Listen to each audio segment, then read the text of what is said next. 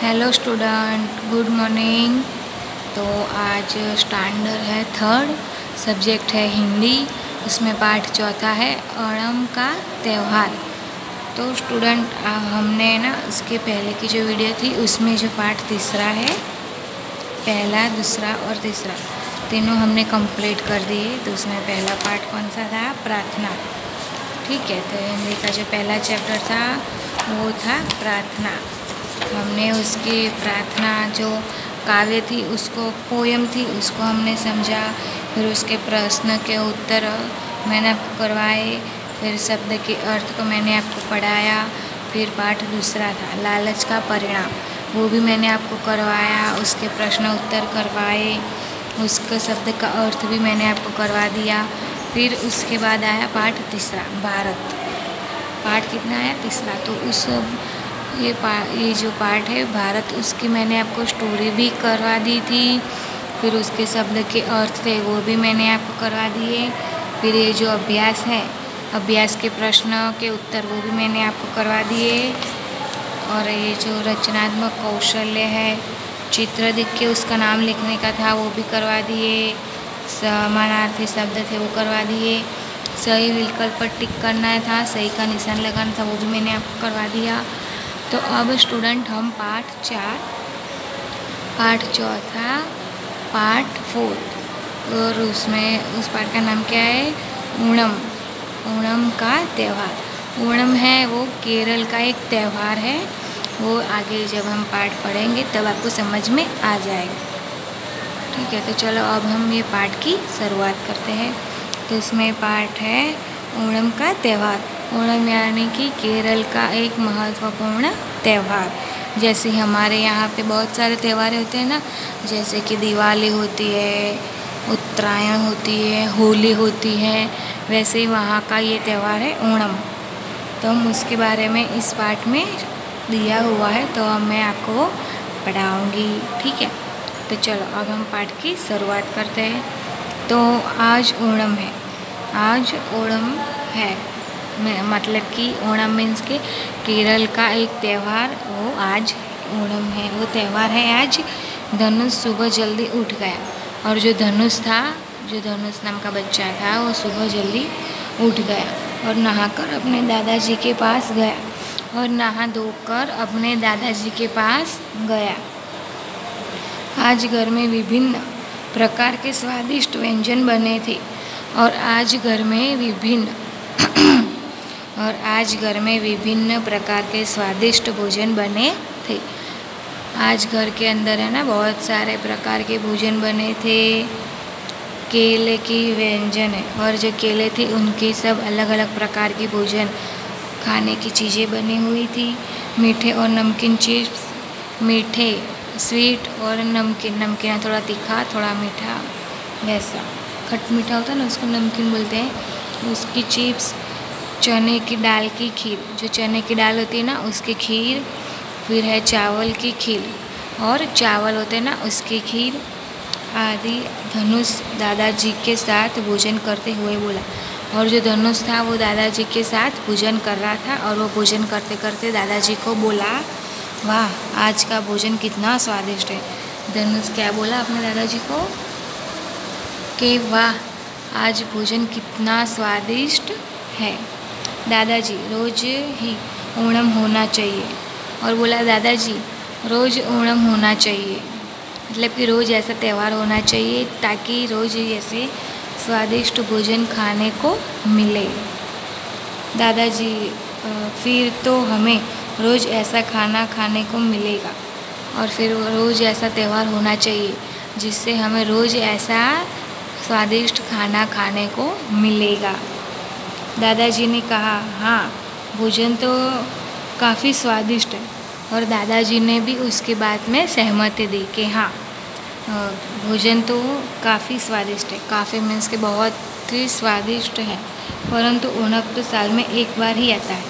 परंतु ये जो ओणम है ओणम है, वो साल में एक बार ही आता है। ओणम का जो त्यौहार है, वो साल में एक बार ही आता है रोज़ रोज़ नहीं आता क्या तुम्हें पता है हम ओणम क्यों मनाते हैं? और दादाजी ने धनुष से प्रश्न क्वेश्चन किया है कि क्या तुम्हें पता है हम ओणम क्यों मनाते हैं? धनुष बोला, नहीं दादाजी।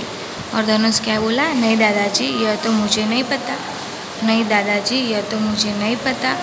तो दादाजी ने कहा, चलो मैं तुम्हें बताता हूँ। और दादाजी ने क्या कहा, चलो मैं तुम्हें बताता हूँ कि ओलम क्यों मनाते हैं?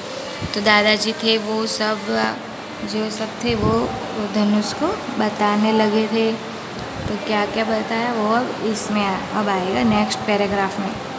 तो प्राचीन काल में केरल में एक महाप्रतापी राजा हुआ करते थे। तो दादाजी थे, उन्होंने ओणम का त्यौहार क्यों मनाते हैं?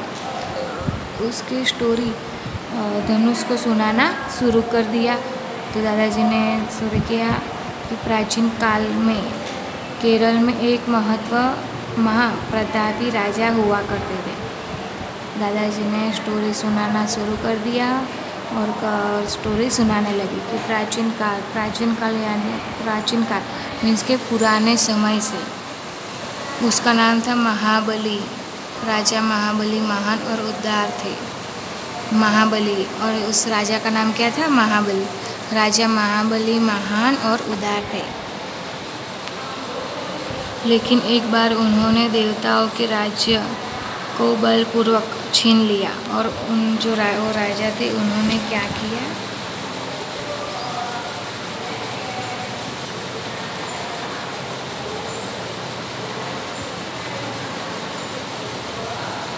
उदार उदार यानी कि सहायता देने में प्रशंसा अनुभव करने वाला।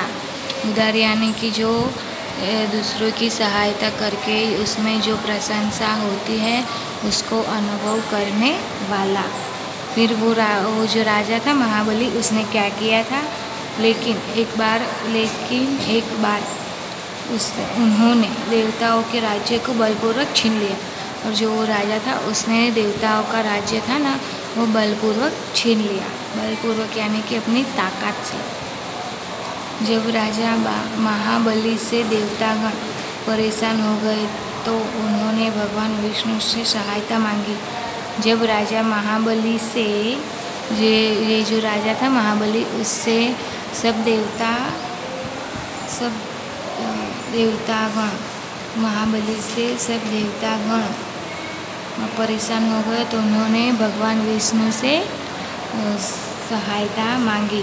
देवताओं की प्रार्थना सुनकर भगवान विष्णु ने वामन अवतार लिया और जो भगवान थे, उन सब की बातें सुनकर जो विष्णु भगवान थे, उन्होंने वामन अवतार. तो विष्णु भगवान ने कौन सा अवतार लिया? तो वामन अवतार लिया.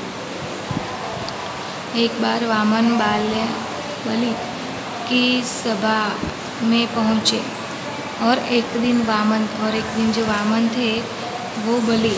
बलि यानी कि महाबली जो राजा था, उसके सभा में पहुँचे। महाबली ने श्रद्धा पूर्वक वामन जी का स्वागत किया। और जो महाबली थे, उन्होंने श्रद्धा पूर्वक मतलब कि अपनी इच्छा से उसके अंदर उनको विश्वास से और उनका जो वामन थे, उनका स्वागत किया। और वामन कौन थे? भगवान विष्णु, जिन्होंने वामन का अवतार लिया था। और मन चाही वस्तु मांगने को कहा। और जो महाबली था, उन्होंने क्या किया? तो महाबली था, उन्होंने वामन जी, वामन था, जो वामन जी थे ना, विष्णु का अवतार उनका स्वागत किया और उनको मनचाही वस्तु मांगने का कहा। और उनको क्या कहा? मनचाही वस्तु मांगने का। तो वामन ने राजा से दान में तीन पग भूमि मांग ली। और जो वा, जो वामन थे, उन्होंने क्या मांगा? तो उन्होंने, राजा थे ना, उसके पास से तीन चीज़, तीन पग।